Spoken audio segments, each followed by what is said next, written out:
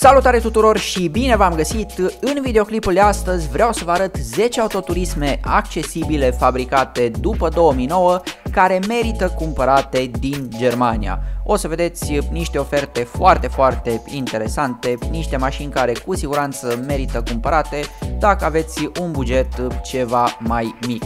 Înainte să începem, după cum bine știți, nu uitați să dați un like, de ce nu și un share la acest videoclip și să apăsați pe butonul de subscribe. Prima mașină accesibilă care merită cumpărată din Germania ar fi acest Ford Focus din 2014, o mașină care merită atenția voastră dacă aveți un buget între 4.000 și 6.000-7.000 de euro. Normal, prețurile diferă destul de mult pentru că contează în ce stare se află mașina, câți kilometri are, dotări și așa mai departe. Fordul de față, o să vedeți imediat, merită fiecare bănuț pentru că are un kilometraj relativ redus. Are jante din tablă pe 16 cu anvelope în stare bună, Cam așa arată în interior, vine cu încălzire în scaune, aer condiționat, comenzi pe volan, pilot automat, 4 geamuri electrice și cam astea ar fi dotările cele mai importante. Într-adevăr, nu este un Ford Focus full option, dar sper că vedeți voi, chiar se află într-o stare foarte bună, are și senzor de parcare față-spate.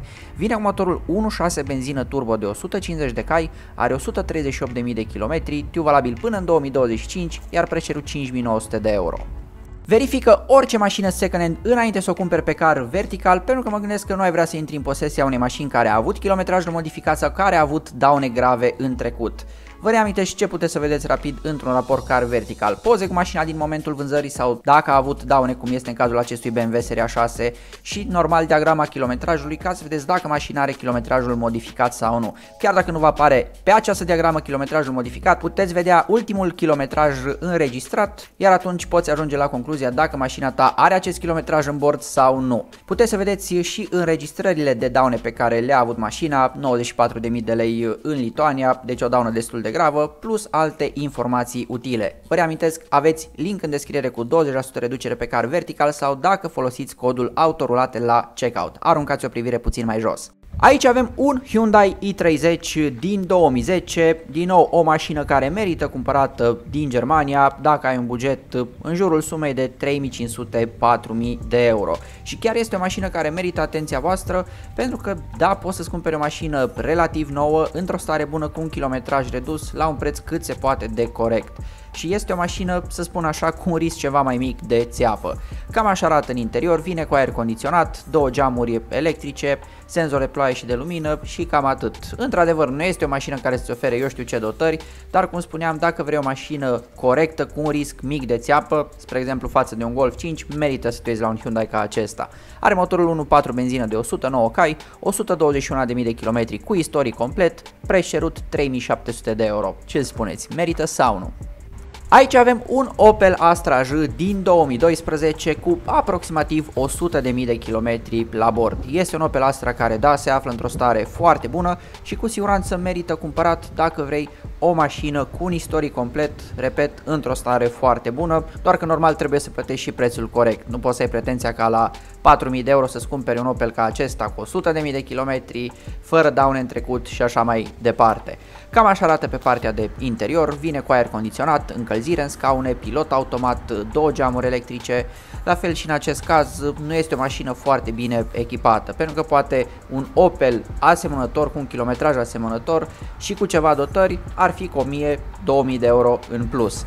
Vine cu motorul 1.4 benzină de 100 de cai, are 93.000 de kilometri, inspecția tehnică este valabilă până luna august 2023, iar preșirut 7500 de euro. Aveți acolo și seria de șasiu. Următoarea mașină care cu siguranță este foarte accesibilă ar fi această Skoda Fabia din 2009 care da mai are ceva probleme de ordine estetic, adică are mici probleme cu rugina, motiv pentru care și prețul cerut o să vedeți imediat este unul destul de mic. Are acolo pată de rugină la aripa din spate și da, are și rugină la haion. Cei drept am văzut foarte foarte rar o Skoda Fabia ca aceasta care să aibă probleme cu rugina. Tare interesant. În orice caz, na, se poate rezolva până la urmă. Problema este doar pe partea stângă și la haion. Cam așa arată în interior, vine cu încălzire în scaune, clima automată, pilot automat, 4 geamuri electrice. Pentru o Skoda Fabia din această generație chiar sunt niște dotări mai mult decât suficiente și da culoarea de la exterior chiar pot să spun că îmi place. Vine cu motorul 1.4 benzină de 86 de cai, are 169.000 de km, tiu valabil până în 2024, iar prețul a fost redus la 2300 de euro. Ce spuneți, merită sau nu? Aici avem o mașină accesibilă, ceva mai specială care cu siguranță merită un like din partea voastră și mai exact un Volvo XC70 din 2008. O mașină care, cei drept, o vedem destul de rar, dar cu toate astea este un model foarte, foarte interesant din punctul meu de vedere, care da, vine cu o mulțime de dotări. Este și 4x4, are acel pachet de off-road la exterior, vine cu jantele originale pe 18, cu anvelope în stare bună, Cam așa arată în interior, are scaune din piele cu reglaje electrice și încălzite, clima automată, cutie de viteze automată, comenzi pe volan, pilot automat, senzor de ploaie și de lumină, farurile cu xenon și pentru cei care nu ați fost atenți, da, este și 4x4. Chiar sunt foarte curios câți dintre voi v-ați cumpăra un Volvo ca acesta în schimbul unei mașini nemțești. Vine cu motorul 2.4 diesel de 185 de cai, este un motor în 5 cilindri, ceea ce nu o să mai se facă prea curând, are 258.000 de km, iar preț cerut 9.000 de euro. Ce spuneți, merită? Următoarea mașină accesibilă care, din nou, merită atenția voastră ar fi acest Chevrolet Cruze din 2011. Cum v-am mai spus de multe ori, dacă aveți un buget mic și vreți o mașină cât se poate de nouă, merită să vă uitați la un Chevrolet Cruze. Chiar și eu am avut un model ca acesta, puteți să-l căutați pe canalul meu de YouTube ca să vedeți un review complet pentru un Chevrolet Cruze. O mașină foarte, foarte interesantă din punctul meu de vedere. Anvelopele sunt în stare medie, Cam așa arată în interior, vine cu clima automată, comenzi pe volan, pilot automat, 4 geamuri electrice, senzor de ploaie și de lumină. Este o mașină, să spun așa, decent echipată, pentru că până la urmă nici nu este foarte scumpă, are și senzor de parcare pe spate și cei drept stă destul de bine pe alb.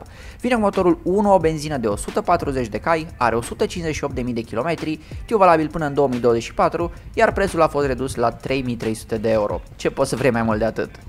Aici avem un superb BMW Seria 3 din 2009 în varianta sedan care a avut un singur proprietar și mare atenție are doar 90.000 de kilometri la bord cu un istoric complet.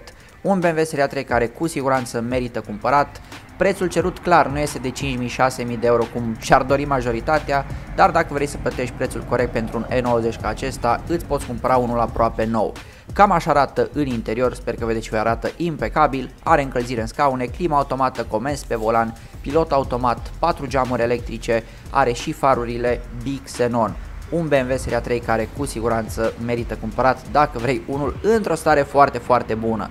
Vine motorul 2 litri benzină de 170 de cai, are 89.000 de kilometri, tiu valabil până în 2024, iar preț cerut 9900 de euro. Este un preț corect. Aici avem un Golf 6 din 2011 care o să vedeți imediat se vinde la un preț mai mult decât corect în raport cu kilometrajul pe care îl are, normal starea în care se află și nu în ultimul rând dotările cu care vine pentru că da, în combinație cu motorizarea pe care o are, aș putea spune că chiar este un Golf 6 destul de rar, care sper că vedeți și voi se află într-o stare foarte, foarte bună.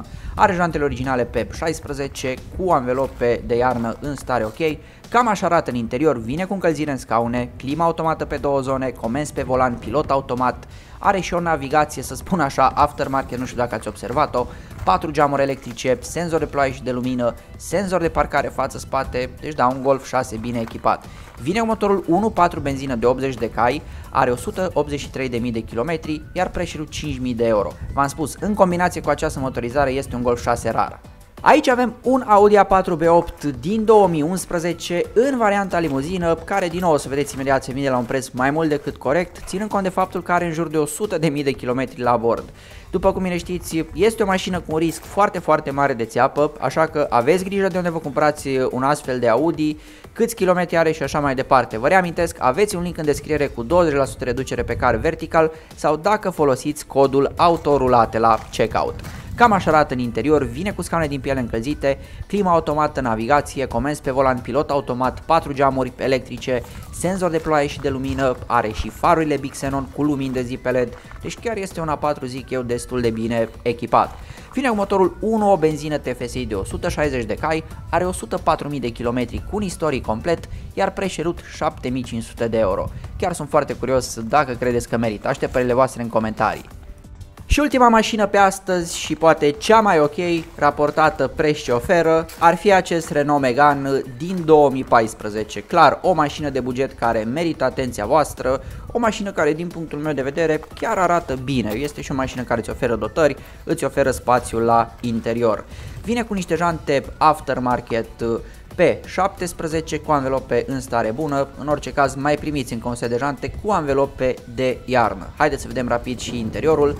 Cam așa arată în interior, are încălzire în scaune, climă automată navigație, comenz pe volan pilot automat, 4 geamuri electrice, senzor de ploaie și de lumină, deci chiar este un Renault Megane bine echipat. După cum bine știți, dacă ați ajuns până aici, nu uitați să dați un like la acest videoclip și normal să îmi lăsați în secțiunea de comentarii ce mașină v-ați cumpărat voi de astăzi, care merită, care nu merită. Vine cu motorul 1.2 benzină de 116 cai, are 128.000 de km cu un istoric complet, tiu valabil până în 2025, iar prețul 5500 de euro. Bun, cam acestea au fost mașinile, nu uitați de un like și ne vedem data viitoare.